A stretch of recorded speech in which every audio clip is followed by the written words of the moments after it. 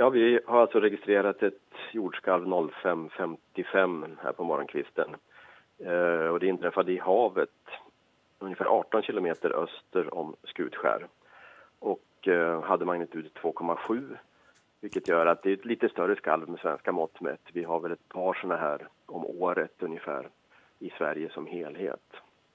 Eh, det här skalvet har inträffat på ungefär 10 kilometers djup så det är inte så djupt ner i jordskorpan heller. Vilket gör att det har skakat en hel del i området. Ja, och när du säger skakat en hel del i området, mer, mer exakt, hur märker man av en sån här skakning med en magnitud på 2,7? Ja, man bor i när... Nu är det ingen som har bott precis ovanför, så att eh, men de som bor i Skutskärsområdet, det har vi fått rapporter om här då att man hör hur det mullrar eller att det blir som en, en stöt i huset. Um, och eh, man, man, känner vibrationer helt enkelt.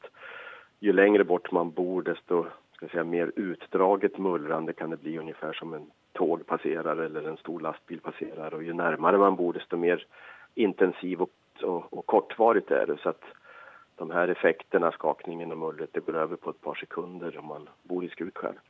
Och det här skalvet skedde ute till havs, men finns det någon risk för att det kan göra skada på hus och vägar eller annat som man har konstruerat? Nej, det här är ett så pass litet skalv så att eh, det gör ingen skada på, på byggnationer eller infrastruktur.